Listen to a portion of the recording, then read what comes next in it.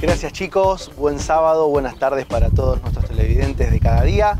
En el día de hoy les voy a preparar un postre donde vamos a combinar una receta súper antigua que nos hacían nuestras abuelas con una técnica un poquito más nueva que te va a llamar mucho la atención y créeme que si la haces te va a recontra encantar.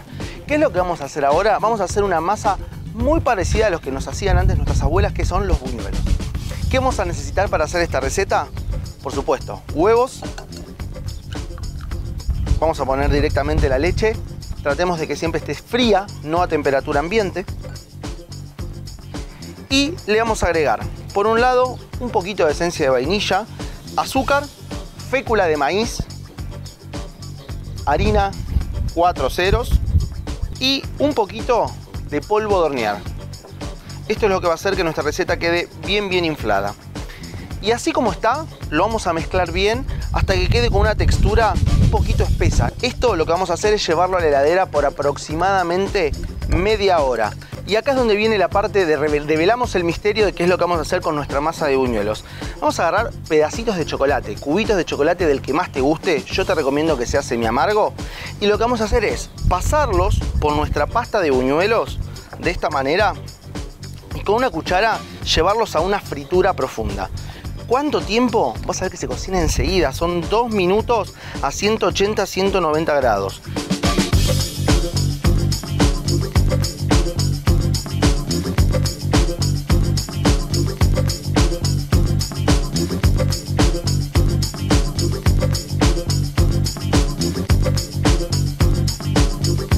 Entonces, una vez que los tenés, lo que vas a hacer antes de que se enfríen es tirarles un poquito de canela, si no te gusta la puedes obviar.